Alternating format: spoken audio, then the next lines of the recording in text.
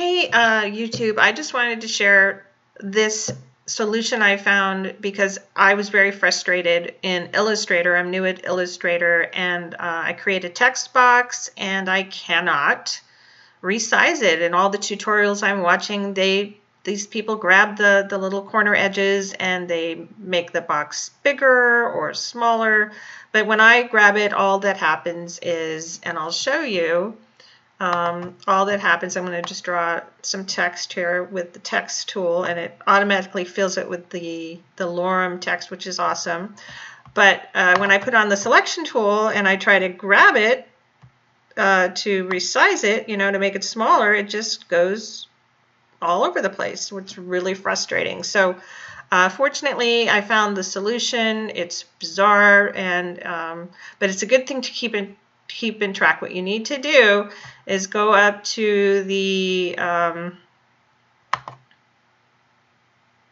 sorry view. It's all about view. Where what can you see and what can you not see? And what we have going on right now is that the bounding box is hidden. Otherwise, the choice of showing it wouldn't be there. So uh, you can either click from view to show bounding box or you can memorize this hotkeys shift control B. So I'm going to just click and as soon as I do that finally I can drag and stretch. So that's the solution.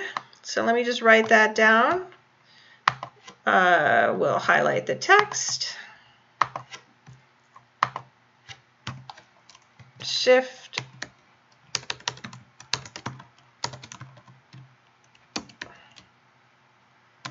plus control plus B, right? Or go to view, show bounding box.